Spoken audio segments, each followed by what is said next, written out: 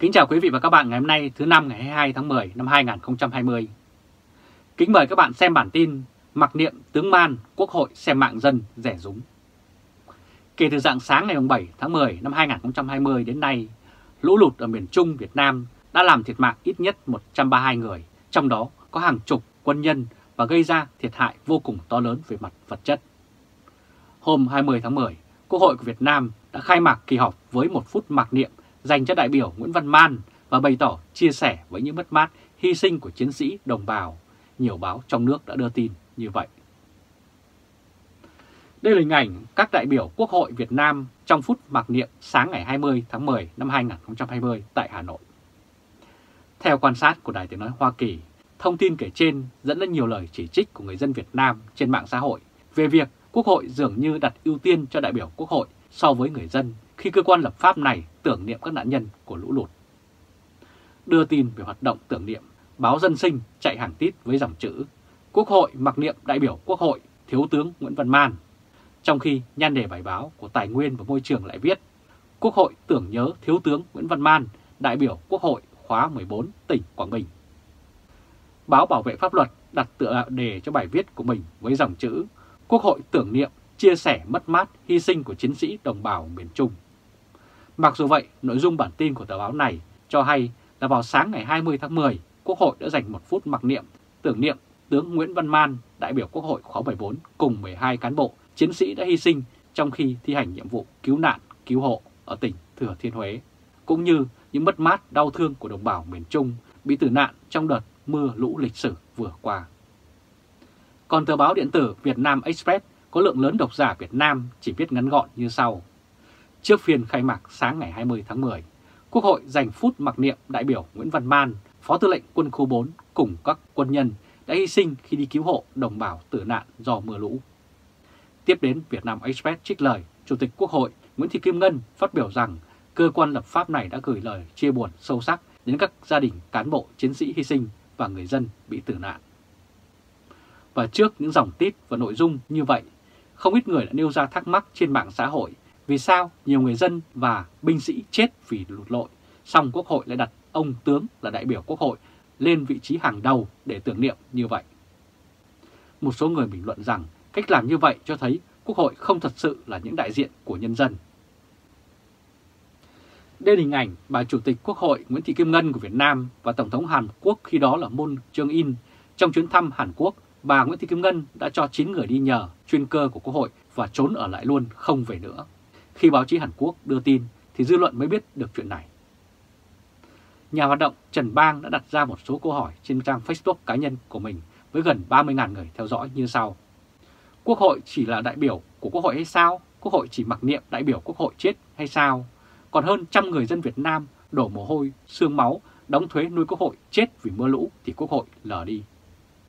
Trong khi 22 quân nhân bị núi lở đè chết ở Quảng Trị cũng đã tìm thấy xác, thì vẫn còn 15 trên tổng số 17 công nhân ở Thủy Điện Rào Trăng Ba bị chôn vùi xác từ ngày 12 tháng 10 đến nay, hơn một tuần vẫn không tìm thấy xác. Hoặc là do nỗ lực của bên quân đội đã dừng lại sau khi tìm thấy xác 13 cán bộ. Quốc hội của toàn dân nhưng đã cư xử thiên lệch với hàng trăm người dân đã chết. Giáo sư Mạc Văn Trang đã viết lên trang Facebook cá nhân của mình như sau hơn 100 đồng bào và chiến sĩ tử nạn trong lũ lụt ở miền Trung, Quốc hội nên tổ chức quốc tang. Nếu không cũng cần mặc niệm tất cả các đồng bào tử nạn, chứ sao chỉ dành cho một đại biểu Quốc hội vào các liệt sĩ như vậy. Quốc hội của toàn dân cơ mà, ông nói. Hàng trăm bình luận bức xúc cho rằng Quốc hội xem mạng người dân quá rẻ rúng, rằng Quốc hội là cơ cấu của Đảng và tiêu tiền thuế của dân, chứ có dân nào bầu họ đâu. Facebook trần dạng có bức xúc viết lên câu thơ Quốc hội mặc chiến sĩ thôi, còn dân mặc kệ chết trôi cũng đành. Còn Facebook, Sơn Minh Hoàng thì nói rằng chúng nó chỉ coi cán bộ mới là người, còn nhân dân chỉ là nô lệ. Trong con mắt bọn cầm quyền, người dân lính gác chỉ giống mèo hoang và chó dại, Facebook này đã biết. Còn Facebook Chế Quốc Long thì nói như sau, chúng coi mạng dân và binh lính như cỏ rác. Quốc hội là đại diện của nhân dân nhưng lại không do dân bầu, khốn nạn. Đây là hình ảnh đại biểu Quốc hội Phạm Phú Quốc đã chi tới 60 tỷ đồng để lấy quốc tịch đảo ship từ năm 2018 sau nhờ báo chí nước ngoài sự kiện mới bị tiết lộ. Còn Facebook Hồng Nhung thì chia sẻ, Quốc hội là của Đảng, chả có thằng dân nào vào đây được cả. Ông Nho Vũ thì viết, đây là một tuyên bố chứng minh hùng hồn của những kẻ mồm xuyên xét nói của dân, do dân, vì dân, nhưng khinh dân, ác với dân, giả dối với dân vô cùng, đổ vô đạo. Facebook Ninh Gà thì viết như sau, thật tủi phận 17 công nhân thủy điện rào trăng khi 15 người vẫn nằm trong bùn lạnh. Trần Thị chia sẻ tiếp, đau cho một dân tộc không thiếu nhân tài nhưng phải chịu thất bại dưới tay bọn lưu manh. Trên trang Facebook cá nhân, bác sĩ Võ Xuân Sơn có bài bình luận với tựa đề Quốc hội của ai? Với nội dung ông chia sẻ như sau. Hôm qua, nhiều người bàn đến việc Quốc hội sẽ mặc niệm tướng Man. Có vẻ như không có mặc niệm những người tử nạn trong đợt lũ đang xảy ra ở các tỉnh miền Trung. Xem thông tin trên các báo thì thấy báo tuổi trẻ đang là Quốc hội sẽ mặc niệm đại biểu Nguyễn Văn Man và chiến sĩ đồng bào hy sinh. Và tôi vẫn hy vọng rằng Quốc hội không chỉ mặc niệm một mình tướng Man. Về lý thuyết Quốc hội là của dân, do dân bầu, đại diện cho ý nguyện của dân. Do vậy, cho dù ông Man là đại biểu Quốc hội duy nhất tử nạn trong vụ lũ lụt năm nay tại các tỉnh miền Trung, thì Quốc hội cũng không vì thế mà chỉ mặc niệm một mình ông Man mà không mặc niệm những chiến sĩ và đồng bào khác tử nạn. Ông nói thêm, sáng nay tôi mở truyền hình Quốc hội ra xem thì thấy chiếu cảnh Chủ tịch Quốc hội dự lễ gì đó đầy màu sắc rực rỡ với cơ man nào là khẩu hiệu cờ hoa. Thì ra là lễ kỷ niệm 70 năm báo Quân đội Nhân dân tổ chức vào ngày 19 tháng 10 năm 2020 khi đã có 90 người cả quân và dân tử nạn và 34 người mất tích, trong đó có mười mấy công nhân ở rào trăng ba chưa tìm thấy xác. Đây là hình ảnh Thủy điện Rào Trăng Ba, nơi 15 trên tổng số 17 công nhân bị vùi xác chưa tìm thấy. Rất lạ là 13 cán bộ, quân nhân được dốc toàn lực tìm xác rất nhanh. Sau đó, ở Quảng Trị cũng tìm thấy đủ 22 xác quân nhân. Thế nhưng vẫn còn 15 công nhân ở Rào trang Ba thì đã hơn một tuần vẫn chưa tìm thấy. Nhiều người cho rằng nhà nước và quân đội phân biệt đối xử với dân thường mà xem trọng cán bộ. Mở trang thông tin điện tử của Quốc hội thì thấy rõ ràng là thông báo chỉ mặc niệm tướng Man vào phiên họp chủ bị lúc 8 giờ 10 phút vào 20 tháng 10 năm 2020. Cạnh đến giờ đó, mở truyền hình Quốc hội xem thì thấy đăng quảng cáo một thứ thuốc ho. Đó là lần đầu tiên tôi xem truyền hình Quốc hội và được tận mắt thấy tai nghe thấy một vị bác sĩ quảng cáo thuốc và khẳng định rằng có thứ thuốc có thể chữa bệnh mà hoàn toàn không gây hại.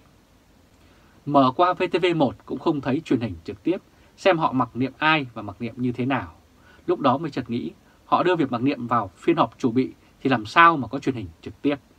Thế là tôi không thể xác định được rằng Quốc hội chỉ mặc niệm một người trong tổng số 90 người Việt Nam thiệt mạng vì lũ lụt khi đó hay mặc niệm tất cả những người thiệt mạng mà về lý thuyết Quốc hội là cơ quan đại diện của họ. Thật tiếc là tôi không thể xác định được bản thân Quốc hội đã xác định mình là đại diện cho ai, cho khoảng 1% hay cho toàn bộ dân Việt Nam. Thực tình mà nói thì trong số 13 người thiệt mạng ở trạm Kiểm Lâm 67 trên đường vào Thủy Điện Rào Trăng Ba, người phải chịu trách nhiệm lớn nhất về 13 cái chết này chính là tướng Man. Ông là người cấp bậc cao nhất, đã từng là chỉ huy lực lượng cứu hộ nhiều lần. Nếu ông không phải trưởng đoàn thì ông cũng liên quan và liên đới chịu trách nhiệm và trách nhiệm của ông sẽ là thứ hai sau trưởng đoàn. Sự hy sinh của những người trong đoàn tiền trạm vào rào trăng ba là hy sinh vì nhiệm vụ cứu hộ, sự hy sinh rất đáng được trân trọng. Chúng ta đều cảm nhận và cảm kích trước sự hy sinh cao cả đó, nhưng lẽ ra thì những người đó không bị thiệt mạng nếu những người tổ chức chuyến đi cẩn thận hơn, chuyên nghiệp hơn. Dù đứng trên góc độ nào thì cũng phải nhìn thấy tướng Ban là người đã không hoàn thành nhiệm vụ. Tôi cũng mới vừa được đọc thông tin về việc nâng cấp bậc cho 22 chiến sĩ của sư đoàn 337 tử nạn vì bị đất lấp.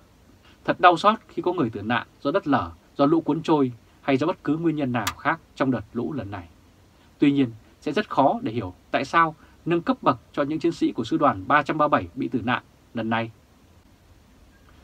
Đây là hình ảnh hiện trường vụ sạt lở tại doanh trại đoàn kinh tế quốc phòng 337 ở xã Hướng Phùng, huyện Hương Hóa, tỉnh Quảng Trị. Ngọn núi từ xa đổ lên đè sập nhiều căn nhà của doanh trại khiến 22 chiến sĩ trừ tử vong. Nếu phân tích sâu hơn sẽ có nhiều điều rất khó hiểu trong cách ứng xử của cơ quan đảng và nhà nước ở cấp cao trong những ngày lũ lụt đang hoành hành ở miền Trung. Đại hội Đảng bộ Thành phố Hồ Chí Minh đã không có hoa, nhưng sau đó là một đêm văn nghệ hoành tráng tại đường đi bộ Nguyễn Huệ để chào mừng thành công của đại hội. Vậy thì tại sao lại phải ra thông báo không nhận hoa? Đã không nhận hoa thì không nhận luôn cái chương trình tốn kém hơn nhiều lần kia đi chứ? Tất cả những cái hành xử trên chỉ có thể làm người ta thấy rằng càng ngày các cơ cấu quyền lực càng xa rời dân. Tự họ đã đặt họ tách biệt ra khỏi nhân dân, đứng lên trên dân, đứng ra ngoài dân, Có phải họ đang muốn chứng tỏ họ là thế lực cai trị, họ có quyền, họ không cần đến dân hay không? Những ngày này tôi cũng suy nghĩ miên man rằng mình có nên lăn xả vào nguy hiểm, chấp nhận rèm pha để tiếp tục giúp cho những người mà sau khi tay qua nạn khỏi họ chỉ biết nói lời ơn đảng, ơn chính phủ hay không. Bác sĩ Võ Xuân Sơn đã nêu ra nhận định như vậy. Một nhà hoạt động khác, ông Nguyễn Lân Thắng, với hơn 150.000 người theo dõi qua Facebook cũng nêu lên câu hỏi. Tại sao Quốc hội do dân bầu ra mà chỉ mặc niệm một vị tướng, không mặc niệm hàng bao nhiêu người dân đã chết thảm vì lũ lụt? Nói với Đài tiếng nói Hoa Kỳ từ vùng lũ, ông Nguyễn Lân Thắng cho rằng đây không phải là lần đầu tiên Quốc hội không thể hiện đúng vai trò là đại diện của nhân dân trước những vấn đề nan giải, bao gồm cả bão lũ và môi trường. Nhận xét rộng hơn về chính giới và bộ máy tuyên truyền của Việt Nam, ông Nguyễn Văn Thắng đưa ra quan điểm với Đài tiếng nói Hoa Kỳ như sau. Giữa lãnh đạo Việt Nam có nhiều người khôn ngoan, tỉnh táo, như bộ máy tuyên truyền không nhanh nhạy hay tự chủ. Chẳng hạn như lũ lụt kéo dài hơn 10 ngày nay, song Đại hội Đảng chưa mặc niệm các nạn nhân lũ lụt cho thấy họ đang đi theo quán tính, không có những phát ngôn ứng xử phù hợp với tình hình, gây nhiều thắc mắc, mất bình trong nhân dân với giới quan chức. Hiện đang tham gia các hoạt động cứu trợ do cá nhân tự thực hiện, nhà hoạt động Nguyễn Lân Thắng cũng chỉ ra một điều nữa mà người dân bức xúc, đó là vai trò của chính quyền trong việc ứng phó với lũ lụt. Ông đã nói như sau. Đã 10 ngày nay chứ không phải là ít, nhưng nhìn vào các cơ quan chức năng của nhà nước chuyên về bão lụt, chuyên về thảm họa thiên tai, đặc biệt là dự trữ quốc gia, người dân không thấy có các động thái hay hành động thiết liệt nào để tung ra các nguồn tài lực từ ngân sách nhà nước để dự trữ đối phó với thảm họa trong lúc này. Chỉ thấy người dân tự mang thuyền, mang xuồng, mang mì tôm đi cứu trợ và giúp nhau. Vì vậy, người dân đang rất oán trách. Ông Nguyễn Đân Thắng đã bình luận như vậy. Đây là hình ảnh Bên phải là Nguyễn Thủy Dương, cô gái ném dép ở Thủ Thiêm cũng tham gia đoàn từ thiện đem quà cứu trợ người dân Quảng Bình bị lũ lụt. Ảnh của Nguyễn Đăng Thắng chụp. Liên quan đến các hoạt động cứu trợ từ phía người dân với nhau, ca sĩ Thủy Tiên đã loan báo trên trang mạng xã hội rằng cuộc quyên góp tiền cứu trợ do kêu kêu gọi dành cho các vùng lũ lụt đến nay đã thu được hơn 100 tỷ đồng. Trong những ngày này, nữ ca sĩ nổi tiếng Việt Nam đã và đang đến vùng ngập ở Huế, Quảng Bình để trực tiếp phát tiền hàng cứu trợ. Ở một số diễn đàn trên mạng, trong đó có góc nhìn báo chí công dân, nhiều người chỉ ra thực tế là Thủy Tiên và những người có ảnh hưởng khác nhanh chóng huy động được hơn 100 tỷ đồng để cứu trợ, trong khi các hội đoàn do nhà nước đứng sau chỉ thu được khoảng tiền rất nhỏ. Các ý kiến trên cũng bình luận cho rằng điều đó cho thấy người dân tin là những người như ca sĩ Thủy Tiên sẽ phân phối tiền hàng cứu trợ hiệu quả hơn cho các tổ chức của nhà nước. Về phía nhà nước, theo tin trên VTV và báo Tuổi Trẻ, Thủ tướng Việt Nam chỉ thị rằng trước mắt tạm cấp từ dự phòng ngân sách trung ương năm 2020 hỗ trợ các tỉnh Quảng Bình, Quảng Trị, Thừa Thiên Huế, Quảng Nam và Hà Tĩnh mỗi tỉnh 100 tỷ đồng để thực hiện công tác cứu hộ, cứu nạn và an sinh xã hội. Thủ tướng Nguyễn Xuân Phúc cũng yêu cầu lấy ngay gạo dự trữ quốc gia để cứu trợ khẩn cấp cho người dân vùng lũ ở 5 tỉnh nêu trên. Tuy nhiên, nhiều người sử dụng mạng xã hội tỏ ý hoài nghi vì gói cứu trợ được tuyên bố của trên Họ nhắc đến gói cứu trợ 62.000 tỷ đồng mà chính phủ Việt Nam tung ra vào hồi tháng 4 để giảm bớt khó khăn cho người dân lao động do đại dịch viêm phổi Vũ Hán. Nhưng trên thực tế, nhiều người dân đã phản ánh với Đài tiếng nói Hoa Kỳ và các cơ quan báo chí khác là họ không với tới. Quý vị và các bạn vừa theo dõi chương trình truyền hình trực tiếp của Lê Trung Khoa, Thời báo chấm ngày hôm nay với bản tin Mặc niệm tướng Man, Quốc hội xem mạng dân rẻ rúng. Quý vị và các bạn hãy chia sẻ video này cho nhiều người biết và bấm nút theo dõi YouTube và Facebook của Thời Báo d để luôn nhận được những bản tin mới nhất, nhanh nhất và trung thực nhất. Từ Berlin, Cộng hòa Liên bang Đức, chào các bạn và hẹn gặp lại các bạn vào bản tin lần tới. Trung Khoa Thời báo.de